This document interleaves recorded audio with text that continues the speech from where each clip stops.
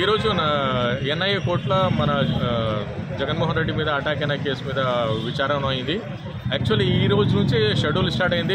Evidence కోసము Dinesh Kumar assistant commandant of the Visakha airport రావాలని date fix ఉండే వాళ్ళ నాన్న ఎక్స్పైర్ అయ్యారని ఆయన రాలేదు.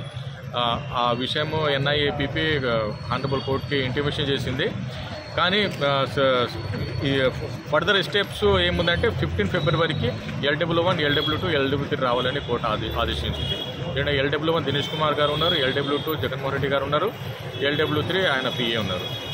ఈ రోజు అయినా విచారం అది ఉంది. అది కాకుండా మన జగన్ అటాక్ కేసులో ముద్దాయిగా ఉన్న జనపల్లి శ్రీనివాసరావు ఆయన డిగ్రీ ఫిఫ్త్ సెమిస్టర్ రాస్తున్నాడు. ఆయన ట్వంటీ సెవెన్ ఫిబ్రవరి నుంచి సిక్స్ మార్చ్ వరకు డేట్స్ ఉన్నాయి. ఆ- డేట్లో డేటా విచారణ పెట్టకండి అని ఆయన ఒక మెమో ఫైల్ చేశారు. ఆ మెమో కూడా మనం కోర్టుకి ఇంటిమేట్ చేశాం. దీంట్లో అయినా ఈరోజు ప్రోగ్రెస్ ఇది ఉందమ్మా.